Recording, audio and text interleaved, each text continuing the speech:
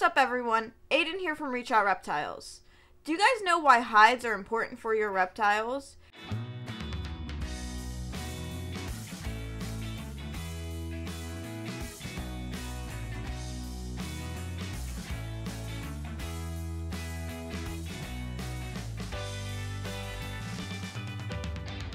Giving an animal a hide makes them more confident and just comfortable in their enclosure. They provide a nice, safe, enclosed area for your animal. It's almost like giving them a bed. It just makes them happier.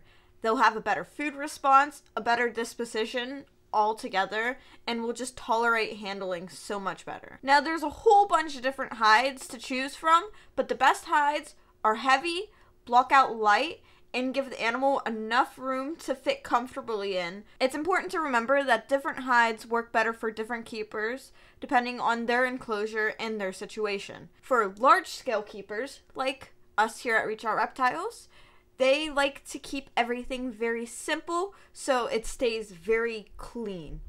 They don't want any bacteria in the cage at all. So we use simple, easy to clean hides.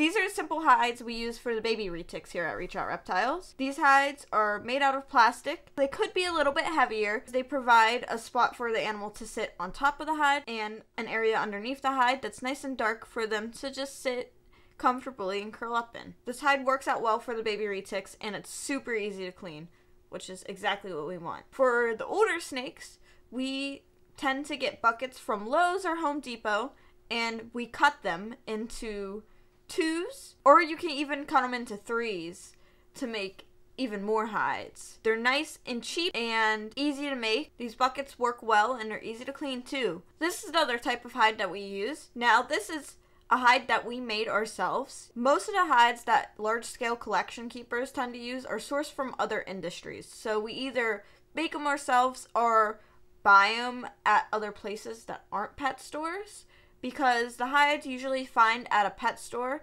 that hobbyists use tend to be harder to clean and hold more bacteria.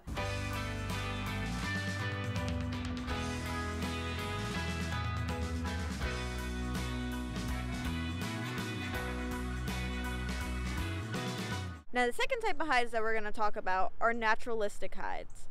Now, these hides are usually used in bioactive enclosures, and they are natural materials that you can find outside. Now, if you find something outside, make sure you treat it properly to make sure there's no bugs or bacteria that you don't want in your animal's enclosure on those materials. But yeah, you can basically find cork or branches or anything outside that you can use in your enclosure. Now, naturalistic hides are always natural materials, but the downfall on these hides is that they could be a little bit more difficult to clean. Now, usually people who have bioactive enclosures want to have good bacteria in their cage. So they still want some type of bacteria. These naturalistic hides also provide more texture and enrichment for your animals too. Gives them a nice surface to crawl on and, you know, perch on and do snake things on. A good example of a naturalistic hide that you can use for your animals are coconut shells. Very simple, just cut a hole out of them and your snake can go in them and curl up. This provides a nice, dark, safe area for them, so they're comfortable.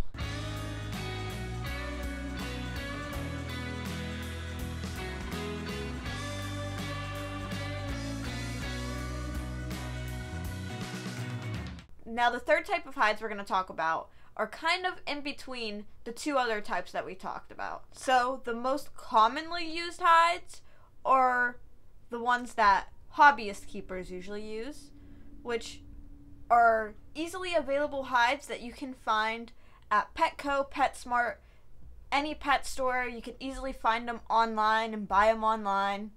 These hides are usually made out of an unnatural material like plastic, but they're designed to look natural, to fit in with a natural looking environment. Hobbyists are small scale keepers who don't have a lot of reptiles, are the people who usually use these hides. These hides are great, and it's not bad to use these hides, but they do tend to hold bacteria more. That's something that large scale collectors don't want at all. They don't want any bacteria. One hide that I noticed retics tend to like a lot are these hanging rock Zilla caves. These caves are awesome hides. Crowley absolutely loves his. He's starting to get a little bit too big for it though, so I think Zilla kind of needs to make a bigger one.